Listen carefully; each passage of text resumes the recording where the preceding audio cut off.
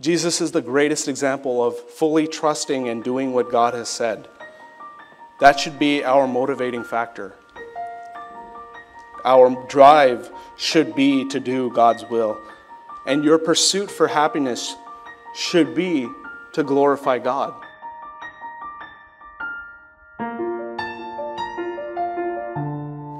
Let's turn in our Bibles to John chapter 19. John chapter 19. I titled this message, Jesus Painted a Masterpiece. So, John chapter 19.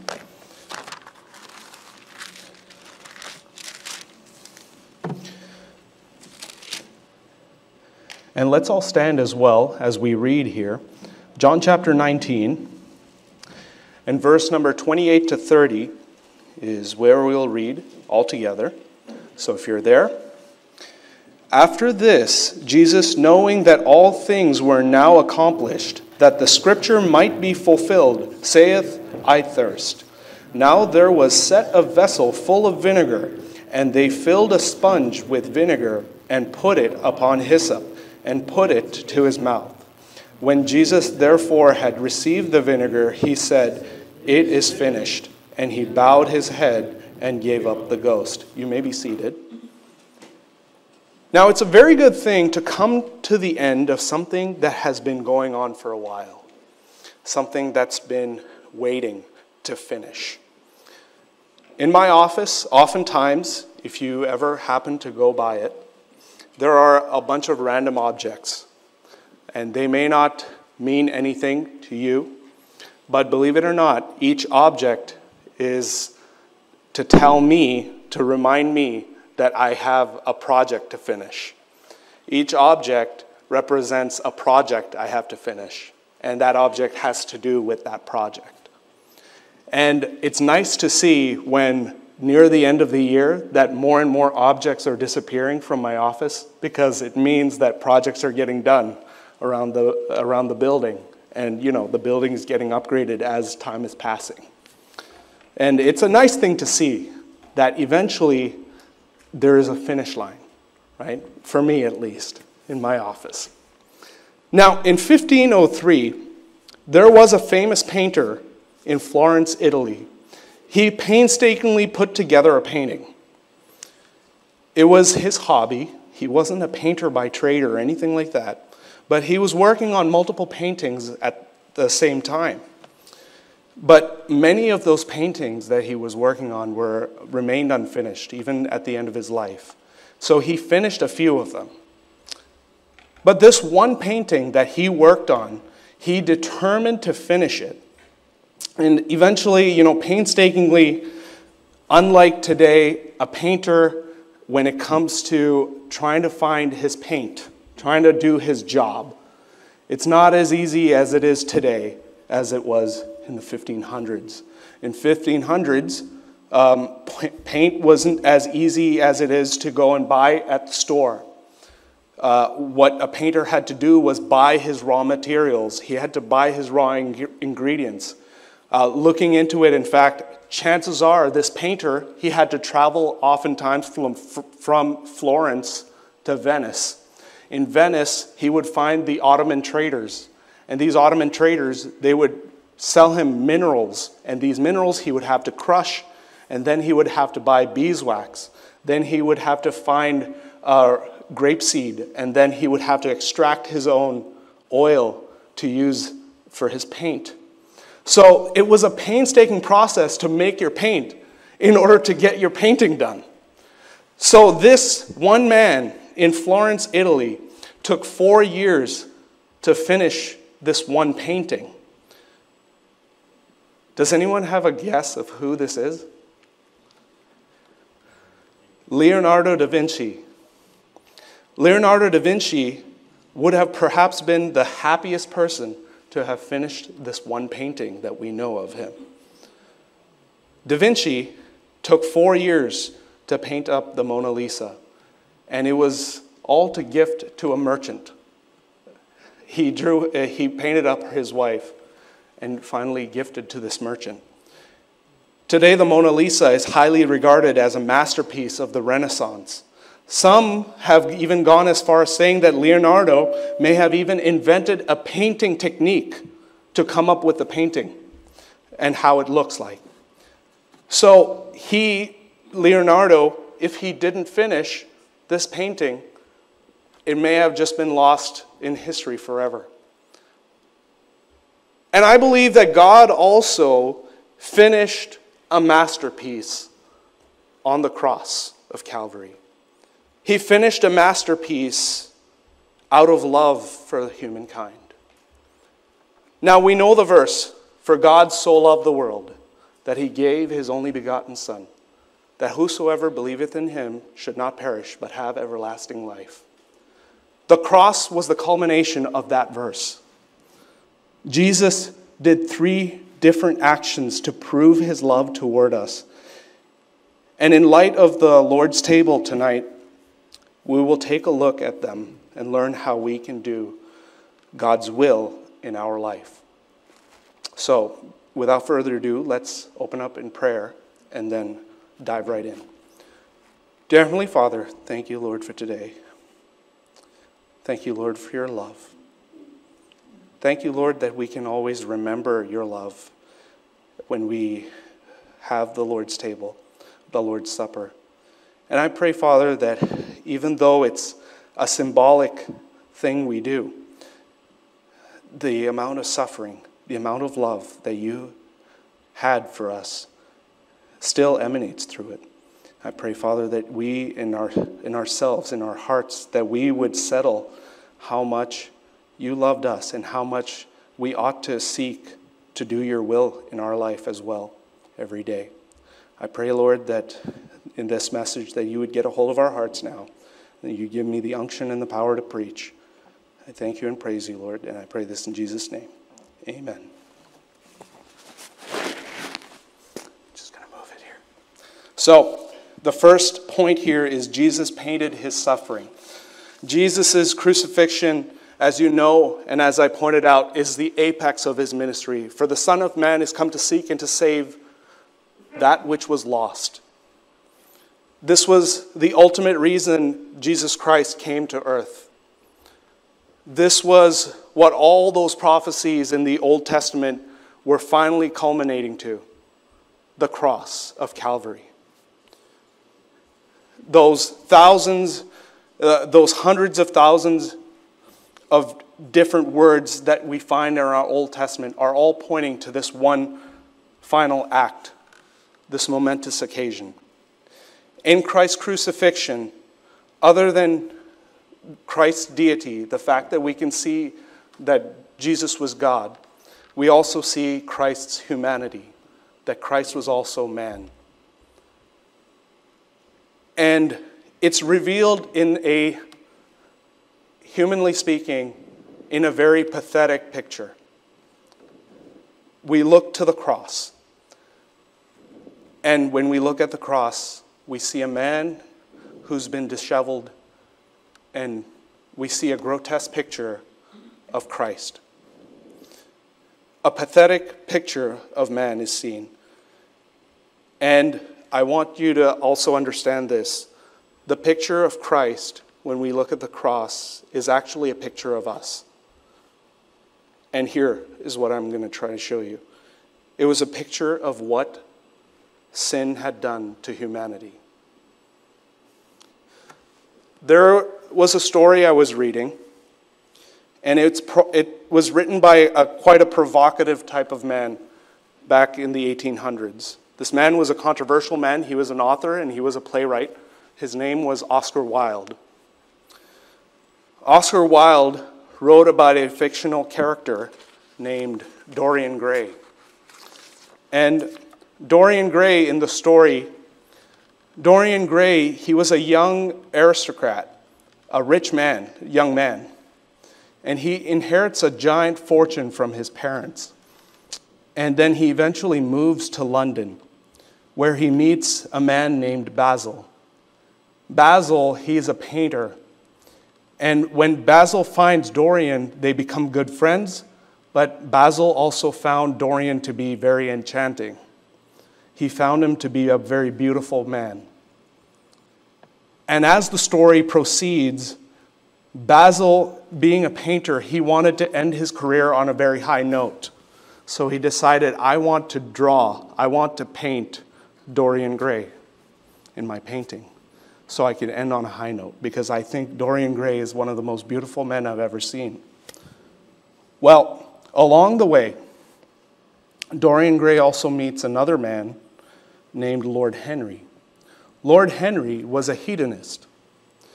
Lord Henry sought after pleasure with all his wealth. And every time Dorian would speak of good things, Lord Henry would bring up the bad things, the pleasurable things in life that you could use your wealth for. And so, as time passed on, Dorian would talk with Lord Henry, and what he would realize is Lord Henry had something to say to him. He had Basil, and then he had, uh, he had Lord Henry. One day he was talking with Lord Henry, and he told him, You know, Dorian, looks won't last. So you should seek after pleasure in life. Because pleasure, pleasure is good. Because, you know, you, one day you will age and you'll lose all your beauty. So Dorian kept talking with Basil and he said, Basil, I, I wish, I wish that this painting could take my aging. I wish this painting could take whatever sin I commit and whatever marring of sin that would happen to my soul, that this painting would take it instead. And Dorian, he essentially he exchanged his soul so that he would never age in his life. As time passed on, Dorian he went into the pleasures. And the story is not very good, but at the end of the story, Dorian eventually finds this portrait, this picture of that Basil had painted of him. And it had all the scars, all the marrings. Eventually, it was this grotesque picture that Dorian could not handle to the point where Dorian was disgusted. This picture was Dorian's heart. You see, the scene of the crucifixion was a grotesque scene. There, Christ hung as a picture of the sins of the whole world as God sees sin. The pure white canvas that was Christ was ruined by our sin. Christ took upon himself our sin, and those that were there that day finally got to see their sin. 2 Corinthians 5:21 says for he hath made him to be sin for us who knew no sin. 1 Peter 2:24 says who his own self bare our sins in his own body on the tree. Some have asked, did Jesus really have to die? Did it really require him to die? The answer is yes, because there is no other way. And here in our verse that we just read, it says that he received vinegar. Look at verse 30. When Jesus, therefore, had received the vinegar, Jesus, at this point, it's coming near the end. And Jesus was in an absolute pain. Our bodies, the human body, there's something about the human body when it it receives extreme amount of pain. Our bodies, they tend to go into this sense of shaking and shiver when it's receiving extreme amount of damage. And I think you know what I mean. As the body begins to pump more blood into the areas that have been damaged, it causes the body to spasm. And this, the Romans knew very well, will take place on the cross. And they were hoping that the body will spasm because it hurts longer and hurts more.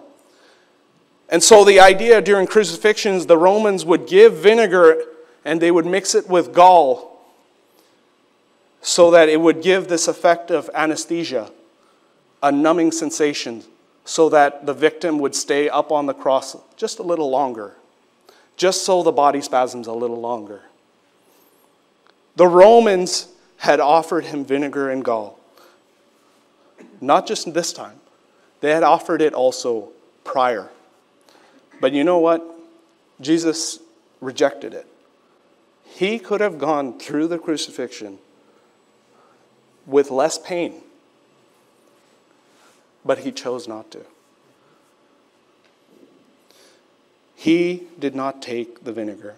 Christ fully wanted the suffering that he was going to go through, just as any human being would. What a Savior. The second point I want to show is Jesus painted over man's religion. Let's go back to verse number 30. When Jesus, therefore, had received the vinegar, he said, It is finished. Every religion in the world will claim that man is to continue to do until the end of their life. Man must continue to do until the end of their life. But Jesus said, It's done, it's finished. It's interesting. Because often religion will also claim you need to do more good than you're bad. I think many of us are familiar with that kind of concept. You ha- it's kind of like an accounting term.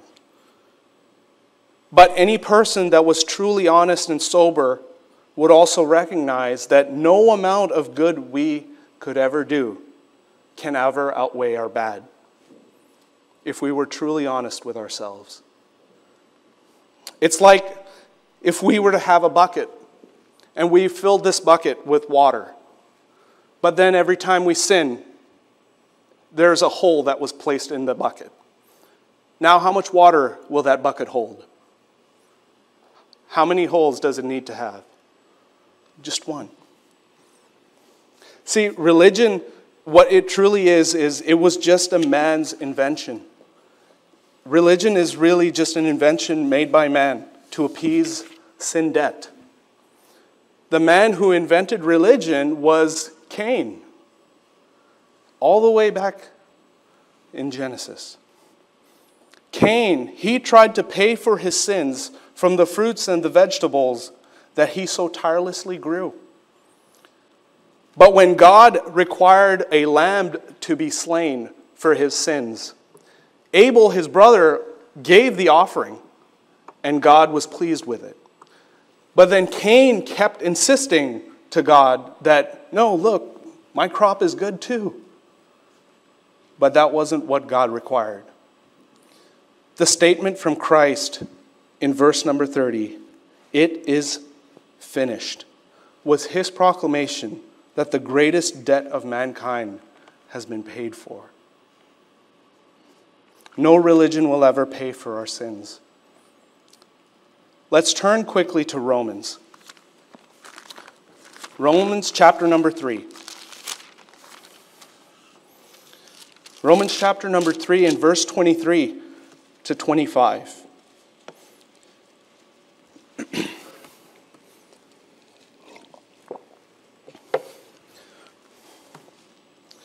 For all have sinned and come short of the glory of God, being justified freely by his grace through the redemption that is in Christ Jesus, whom God hath set forth to be a propitiation through faith in his blood, to declare his righteousness for the remission of sins that are past through the forbearance of God. Christ paid our sin debt. Only the death of God, let that sink in. Only the death of God can pay for your sin. Jesus took our pain, He took our suffering because we gave Him a ton of money. No. Freely. Freely. You know, oftentimes in religion, gods, in mythology especially, gods dare not even come down to earth, let alone die for their creations. And sometimes there are gods that do come down to earth, according to these mythologies. But oftentimes they come in incarnations. They don't even come down the way they are to deal with man. And oftentimes they just deal with specific groups of people, not the whole world. But Jesus Christ made his sacrifice effective to every single people group. When I was growing up, I, I was often hesitant to tell kids at school um, where I was from. I, when I grew up in elementary school, my elementary school was in Quebec. And it's a lot different from life here because there's not as many immigrants back then in, in Quebec. But I oftentimes hesitated to tell kids uh, where I was from. And they would ask me, Are you a Paki? Are you Indian? What are you, Saudi? Are you from Iran? No, I'm from Sri Lanka. Oh, guess what question they asked next? Where's that? See, uh, growing up in elementary school and high school, I started to notice, man, there's groups of people I really want to be a part of. There was, uh, back in elementary especially, there was a group, they were from Lebanon, and they were the Lebanese clique, right? And then there was another other clique, and these guys were the Polish guys. And they, they had a clique. They were really good at soccer too. And there was like a Filipino clique too. And I was trying to like, where do I fit in? I, didn't ha- I, I had no clique to actually fit into, no group to actually fit into. And oftentimes, you know, it's, it, it was like, I, I, don't, I don't belong anywhere. You know, it's like my country, it, it, it doesn't feel as important because there's no group of them there. At least that was how it was for a young guy going from elementary school to high school. So it's like I kind of downplayed where I was from, oftentimes. So when I was reading one of the booklets that Pastor White wrote, the booklet number four, which is The Promised Savior, the promised Savior, something clicked in my mind. Something clicked in my mind when I was reading that booklet. Jesus died for me. Jesus died the way I saw it at first. Jesus died for a random little Sri Lankan boy. Where's Sri Lanka? What does it matter amongst these many nations, much greater nations? Where is this? And Sri Lanka, in Sri Lanka, a random Sri Lankan boy who immigrated to Canada God in the flesh died for me. I'm not Bill Gates. I'm not Elon Musk. I'm not Mahatma Gandhi. I'm not Mother Teresa. I'm just Stephen. And God died for me. I'm not anything special, but Christ paid my sin debt. I don't have to go to the Buddhist temple anymore and meditate to pay off my karma because Jesus is now my refuge. He's paid it all. I don't have to pray to gods in the Hindu temple because Jesus has taken my sin away and even made me a son of God. And what a sobering thought that God would make us worthy in His sight. That God would take our sin upon Himself and make us free. We don't have anything to boast about. Jesus really did it all. Jesus did it all. And finally, I want to show you Jesus painted for God's glory. The theme here is that Jesus painted a masterpiece and Jesus painted for God's glory. All along Jesus' life, his push, his drive, his motivation was to do the will of the Father. And when his task on earth was complete, he gave up the ghost. That's what the verse says. Let's go back to John 19 here. John 19, in verse number 30. When Jesus, therefore, had received the vinegar, he said, It is finished. And he bowed his head and gave up the ghost. You see, all four of the Gospels, they record that Christ, in fact, was the one who gave up the ghost. And why is that significant? This was a big reason. One, this is one of the biggest reasons the Roman soldiers had to actually check whether he was dead or not, because it was out of the ordinary. You see, what usually happens when on the cross, the victim would be hanging on the cross, and oftentimes they'd be, you know, they, it would almost look like they're going to die. And it's like the life was ebbing out of them. And usually they can see that a person is about to die. But with Jesus, it is finished, and he gave up his ghost. He had the power over life and death. And this is one of the biggest reasons that we have a living God, a living Savior, because it takes a living Savior to save people, right? Instantly, he gave up the ghost. He has the power between life and death. He even said this in John chapter 10. Let's turn there quickly. John chapter 10, he even predicted this to be happening, or prophesied, I should say. John chapter 10, verse 17 to 18. It says, Therefore doth my Father love me, because I lay down my life, that I might take it again. No man taketh it from me, but I lay it down of myself. I have power to lay it down, and I have power to take it again. This commandment have I received of my Father. So, the moment he was done, Jesus gave up the ghost, just according to God, how God had asked him, how the Father had asked him. That is so that he could glorify God. Jesus died so that we may live.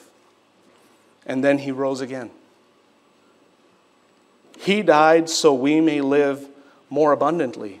Now, don't misconstrue what abundantly means. It's not abundantly in physical wealth, of course, it's abundantly in spiritual wealth, in our spiritual life, in our relationship with God there is, you see, there's a lot of spiritual treasure to be found that no amount of knowledge in this world can give us. God will give wisdom to his children to do his will on earth. God promises us a place in heaven, and we pass from a road that's heading to hell to a road that's heading towards heaven. What a gift. We are given a gift. But I want to ask you something. How is your relationship with God? An honest question. If you're someone who has never really accepted the gift of Jesus Christ, today is that day to accept it. Repent of your sin, turn away from it. Turn away from the things of this world and start looking towards Jesus. This world will offer you things that will make you happy only for a moment. But only Jesus can take, can offer you something that will truly satisfy. And praise the Lord, it satisfies. Jesus is the greatest example of fully trusting and doing what God has said. That should be our motivating factor. Our drive should be to do God's will. And your pursuit for happiness should be to glorify God. Oftentimes, this world gives all kinds of nice distractions. But your pursuit for happiness should be to, to glorify God, even if it means great discomfort. Because that's honestly the greatest apex, the greatest form of obedience. To be willing to be in discomfort, to obey God. Now, Christ, he bowed and he gave up the ghost. That's a great reminder that God will not take our life until he is done with us on this earth. Until his purposes have been fulfilled on earth, we will remain.